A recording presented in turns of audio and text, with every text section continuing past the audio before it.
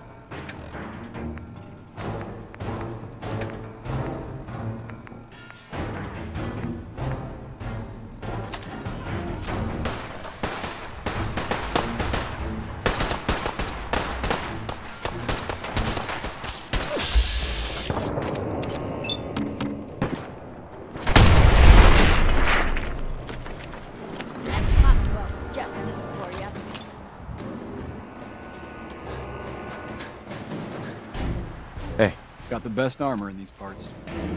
I want to trade a few things. Sure. Hi. Got armor at good rates if you're in the market. Let's see what you have. Got plenty of stock. Take your pick.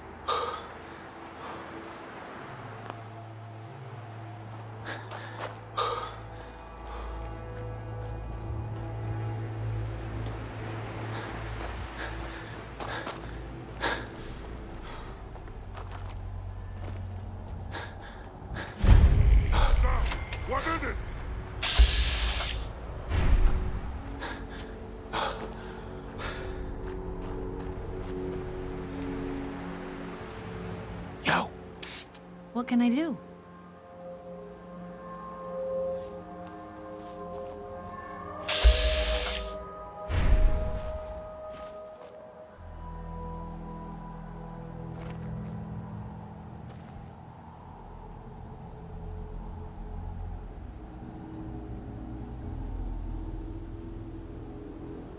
Someone there?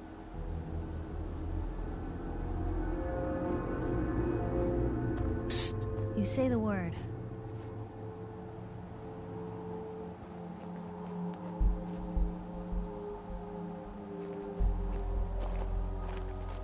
What?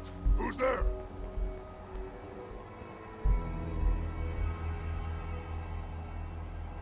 I can hear you.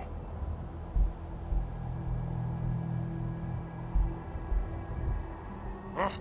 What's that? Get him! Come on! We don't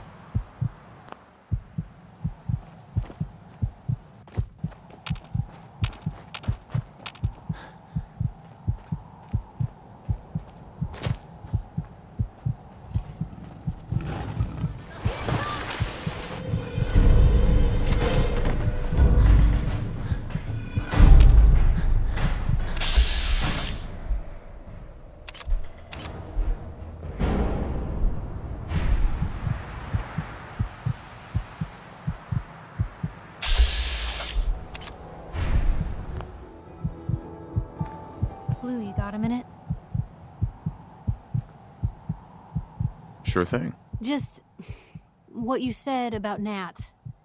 I've been going over it again and again in my head, and what you said was right. Family's too precious. What kind of life is she gonna have if I never go near her again? It's just. Sometimes it feels like the only things I've got in life are Nat and the paper. Having someone I can count on, someone like you, it's meant a lot to me. Not a lot of people want to hang around with the nosy reporter.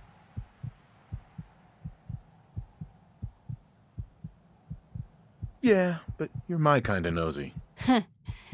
You're the exception. I haven't exactly made a lot of friends in this career. I just wanted to right the things I thought were wrong. And when Nat and I first got to Diamond City, there was a lot of wrong. Crooked guards, lousy infrastructure. there was a hole in the exterior wall that was patched over with a bookcase. One bookcase. That's it. I started the paper more as an act of desperation than anything else. Turned out I wasn't the only one who wanted things to change. After the first couple of editions, people may not have agreed with what I said, but everyone was listening.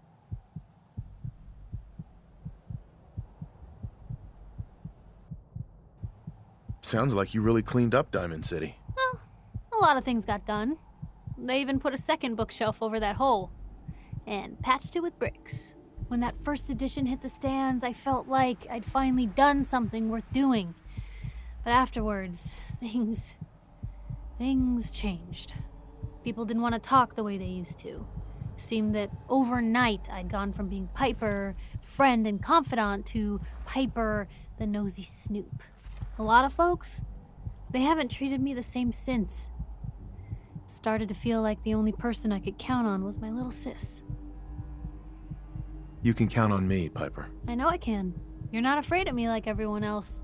I was sure that the paper would be the best thing I ever did in my life, but being here with you now. Now I don't know. I've needed someone like you in my life for a long time, Blue. I just never expected I'd actually get them. So thank you for being the friend I can count on.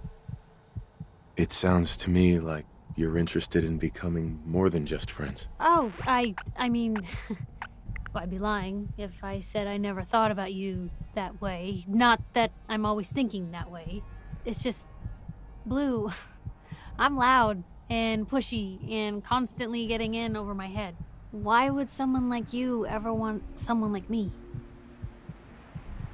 You don't need to be flawless, Piper.